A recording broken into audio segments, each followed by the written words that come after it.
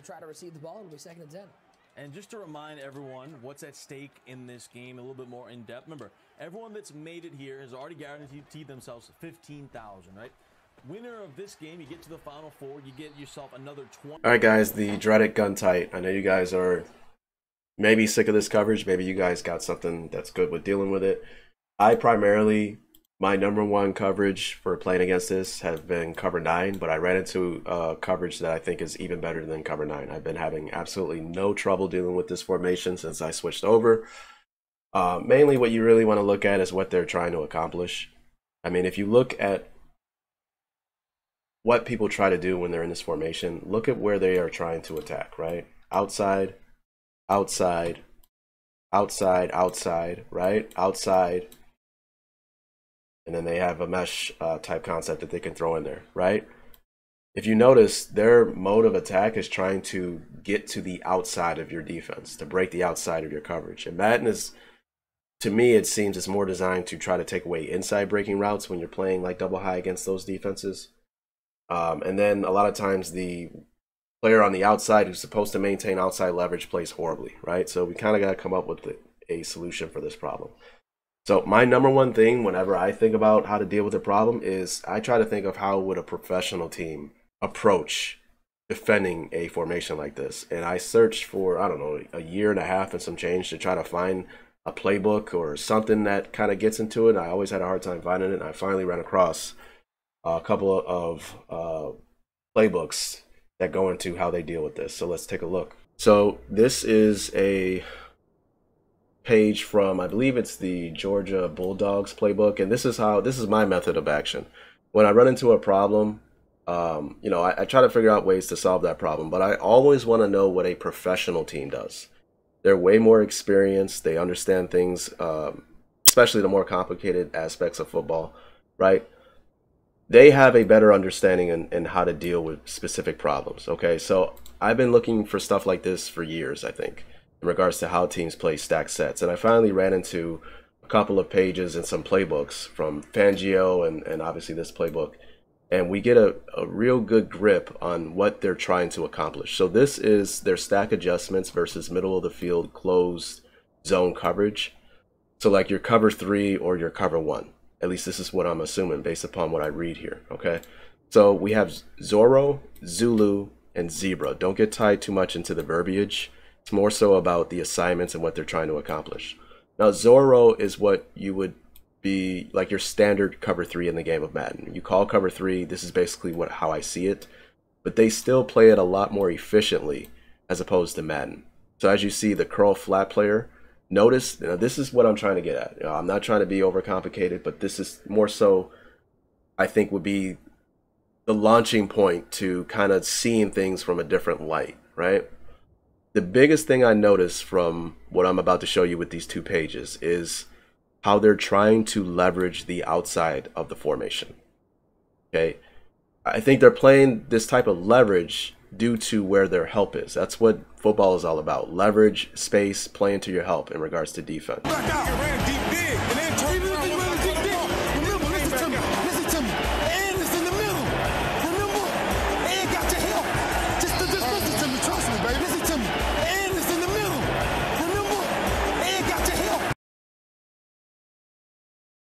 With the middle of the field closed, deep middle safety or maybe a rat in the hole, you're helpless to the inside. And with a formation like this, with divider rules, right? These guys are definitely inside the divider, so we just play outside of the formation and force everything inside. So you got to come on the field with like this mode or this, uh, I don't know, the rule. The number one rule you have, at least when I play this defense, is I am not going to allow anything to the outside. And that's primarily what they're trying to attack with this formation, right? So kind of open up my eyes, right? So one thing that Madden has wrong, okay, first of all, pay attention to the alignment of this curl flat. Notice he's outside leverage of this player. That will play a big part in what I show you after this. Okay, but look at the deep third player, right? Play your third outside leverage on the vertical, okay? So you know, is your outer third, and he's running a corner route, and he has superior leverage on that route. But look on the flip side of this, okay?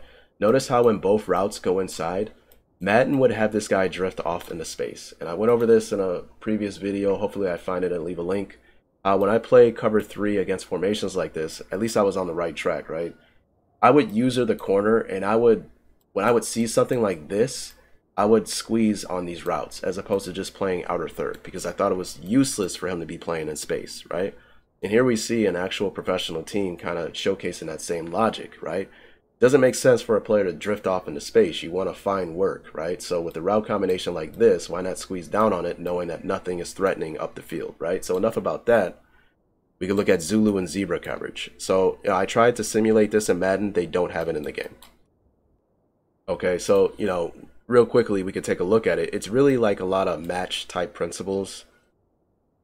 So like you see the corner, again, outside leverage pre-snap. Look how he's outside leverage pre-snap Get all these players outside leverage here, right? Corner. If number one stays number one, if he goes out or up, he stays on number one. So if you were to call cover three with this type of Zulu check in it, the play art would showcase them playing, you know, cover three, but they would match like this, right? He wouldn't drift off into space. One goes out, so he takes that route. And it makes sense because he has outside leverage on that route, so he could play that route a lot better. Now, you may think, well, what about the number two? If he were to run out and take the corner, well, then no one would be outside for this deep route. Well, no, because the seam flat player is matching the number two on the vertical patterns. It's almost like cover three match, but against this formation. But for whatever reason, Madden doesn't have this in the game. Okay, so it's just really frustrating. You know what I mean? It's it's it's just really frustrating because these are tools that you know defensive coordinators put in their toolbox to solve different problems, right? And Madden is supposed to simulate the game of football, and these simple checks just are not in the game. Zebra, I believe, is more so of a blitz with a cover three shell, and they have the rules here, okay? So let's move on to the next one. Okay, so this is where I believe if you were to call like a middle of the field closed man type defense, so like cover one man, Okay, these are the stack adjustments that they would have built into the play, right?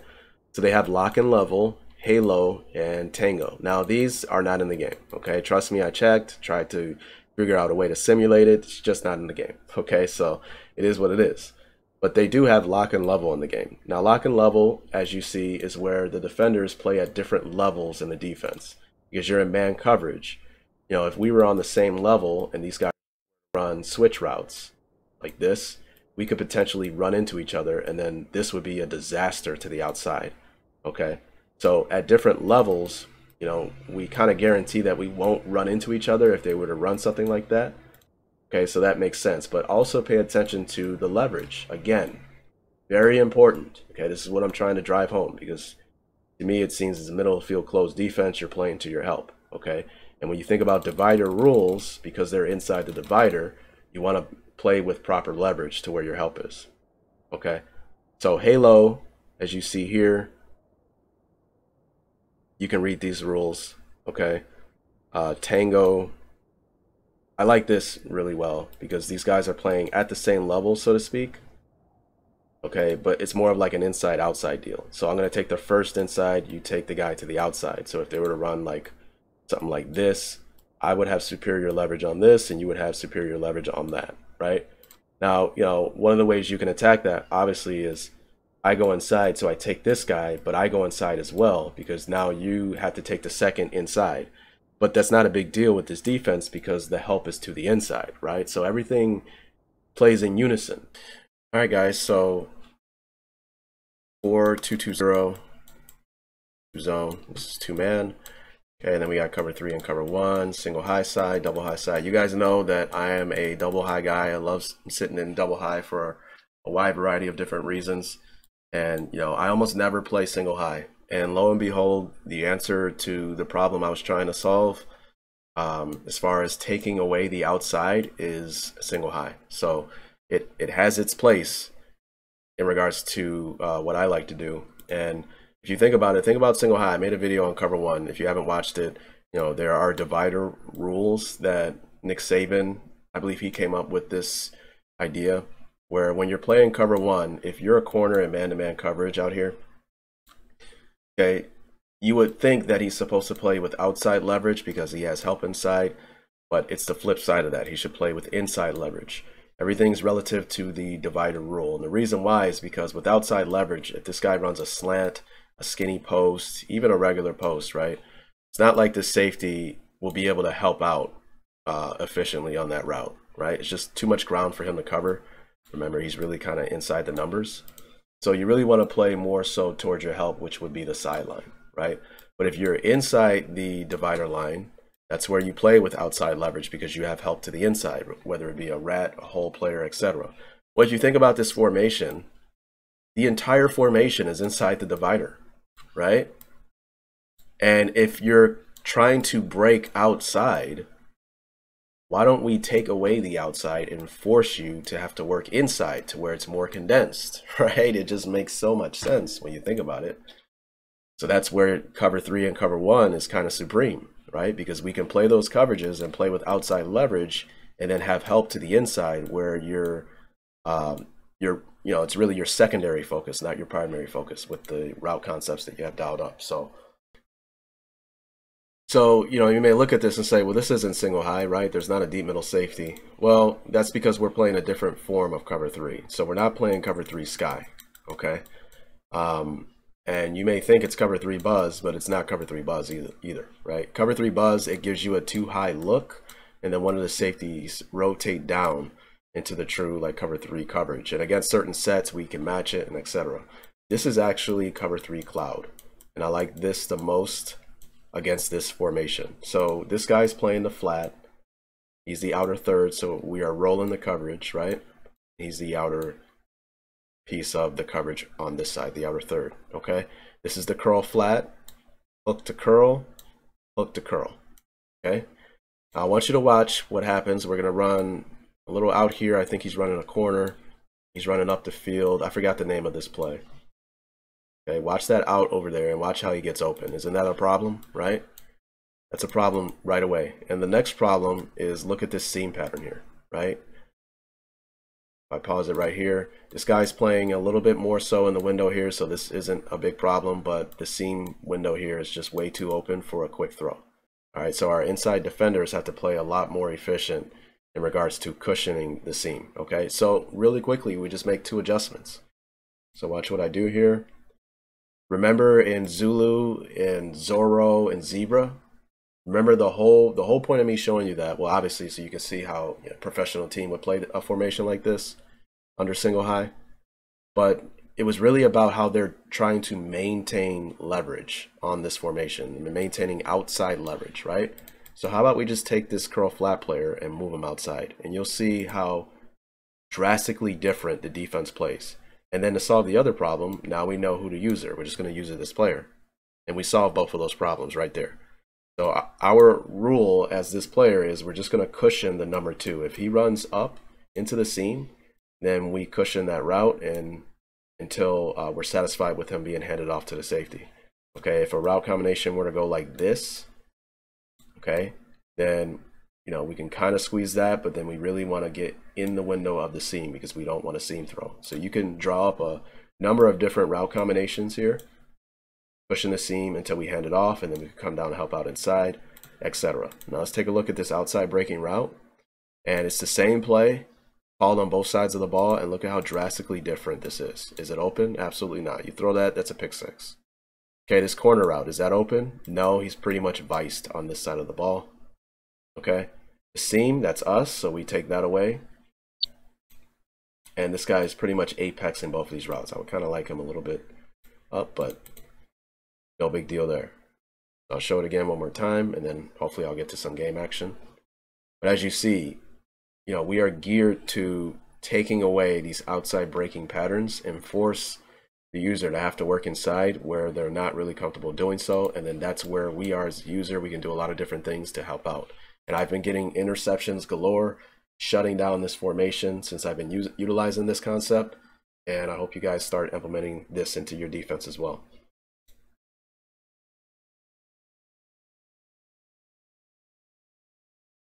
So one more problem, I, I like to think ahead, okay? So with me moving hook curl further this way because I'm afraid of a rip throw to the seam and me cushioning this seam, a potential problem is running this way, right?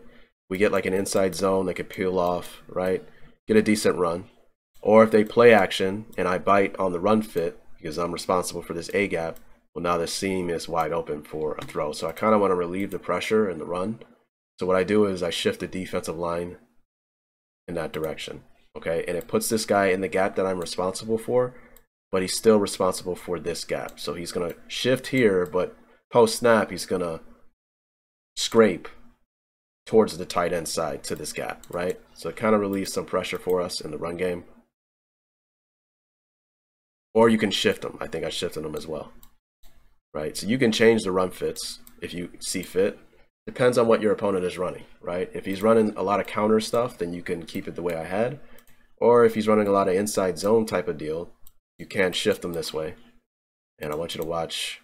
Obviously, we have a star player here. He rips up two guys on inside zone, and he's able to put an end to that. But you see, even if he wasn't, you have like a regular player here, you know, you would get a double team, and then these guys would be able to scrape and make a play. Obviously, this would be us. Okay, but I know you guys aren't too concerned with the run. Okay, deuce close. To me, this is more of a tight formation, right? So I started calling cloud against this formation as well. And the idea is the same because if you think about it, they've squeezed everyone down in between the dividers, right? So how about we maintain outside leverage because you're probably trying to break out, right? And then we just have help to the inside. It's the same idea. I want you to watch. I think he threw, he tried to throw a corner pattern. There it is. But this guy isn't playing inside, right? He overtakes the route to the outside. Interception.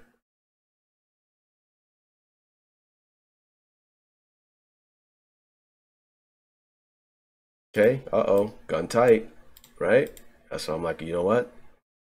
Let me go to my guy here, right? Move him outside. I didn't, okay, I made the shift, and I'm ready to go.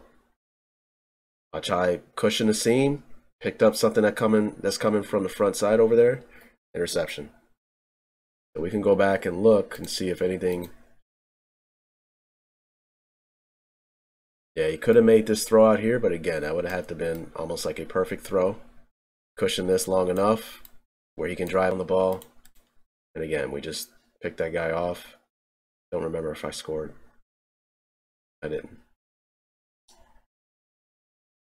So primarily, I would play cover 9 against this formation, but it's good to have a lot of different types of defenses that you can play against a particular problem so they can never key on what you're playing and then you have a variety of different ways to play something. So again, this is gun tight, move him outside, made my shift, cushion the seam, drive on that route, interception. So when I started utilizing this, man, I was getting excited because I'm like, man, I'm solving a lot of problems with this defense um, I just love the way it, it contains everything inside.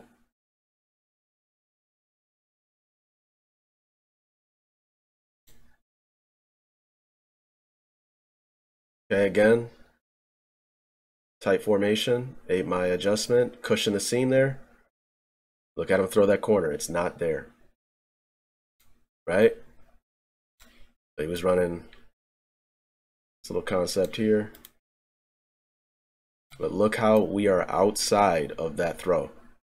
It's just not going to happen. Now, you may say, well, what if this guy were to run up the seam, right? Because he's outside. Well, that's where we have our help, right? Everything's about playing to your help, right? And I think a lot of the other defenses in the game under double high it plays more so to inside leverage with the safeties against those quarter routes, and that's just a no-go. Okay, another tight type formation. In my play. I should have motioned this guy. I should have moved him outside.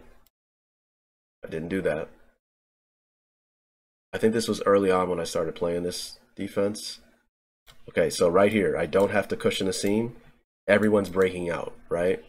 So now you're kind of just looking for work right? You can do a number of different things, but let's just pay attention to what happens. Is that out open? No.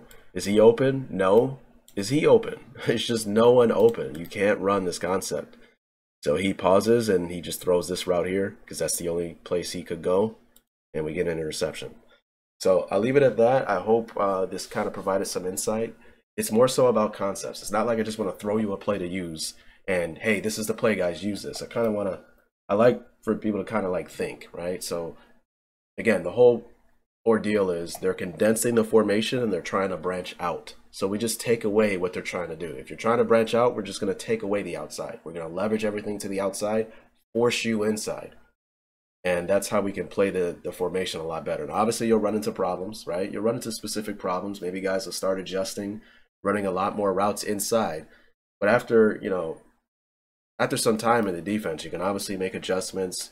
You can obviously trap them, and then that's when you can probably incorporate a lot more double high defenses, right? And that's the beauty of this defense. It looks the same, right? It looks like double high pre snap, right? So we could be playing cover four quarters. We could be playing palms. We could be playing cover nine. We could be playing cover six, right? But lo and behold, we're actually playing cover three cloud, right? So we can the second they start getting away from outside breaking routes and they stubbornly want to stay in this formation and start running stuff inside, well, then that's when you can start switching over to, um, you know, other shell coverages to put a stop to what they're doing, make adjustments, and do what you got to do. So I'll, I'll, leave it at that. I hope you guys got some insight to this, and uh, maybe I'll drop a video where I just go over full plays of me playing this this type of defense against this formation. All right, guys. Peace.